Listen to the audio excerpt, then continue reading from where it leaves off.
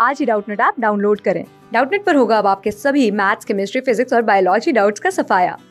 बस अपने क्वेश्चन की फ़ोटो खींचो, उसे क्रॉप करो और तुरंत वीडियो सोल्यूशन पाओ। Download now.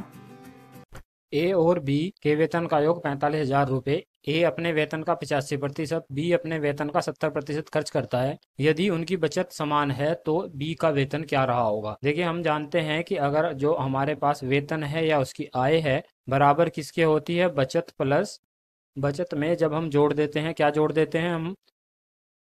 खर्च जोड़ देते हैं तो उसकी बचत मिल जाती है, हमें आय मिल जाती है। आय का मतलब उसका वेतन हो जाता है।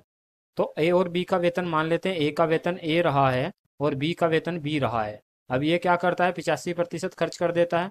पिचासी प्रतिशत खर्च कर देता है। इसका मतलब ये रहा है कि हम कह सकते हैं कि ए का कितना बचा होगा? पिचासी में से पंद्रह बचा होगा।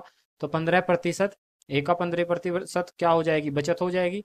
अब बी अपने वेतन का सत्तर प्रतिशत खर्च कर देता है। तो बी के वेतन का हमारे पास यहाँ पर ये आ जाएगी बचत।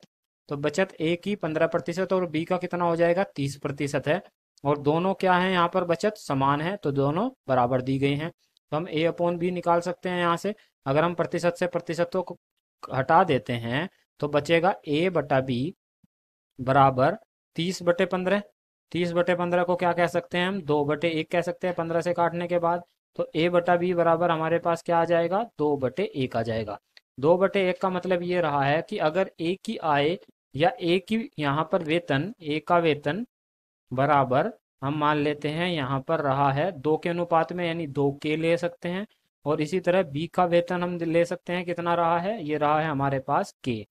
दोनों को मिला देते हैं, दोनों को मिलाएँगे तो हमारे पास कुल वेतन कितना हो जाएगा? ए प्लस बी का।